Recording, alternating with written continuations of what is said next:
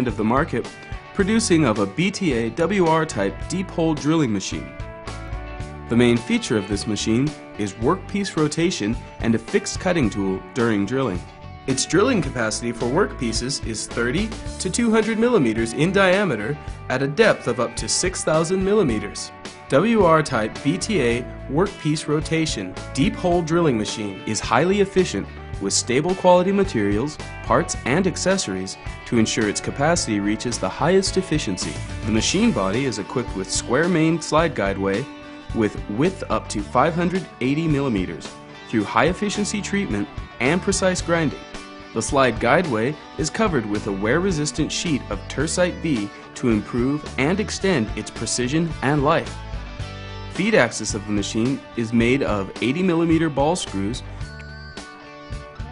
driven by a Fanuc servo motor and the center is equipped with a 1 to 10 reducer to increase its feed torsion.